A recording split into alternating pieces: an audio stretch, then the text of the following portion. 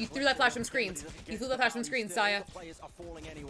Yes. Bit of a solo play Yes. from him as he flashes through, but Saya play was too far around the corner. Wasn't caught out Yeah. and the flank also just being contained. NRG not finding particularly value from playing that heavy Uh-oh. off-site situation. Wait a second! You? He's lighting No. up. He's no got the read. No shot. Solo and he holds it in the smoke. I cannot believe it.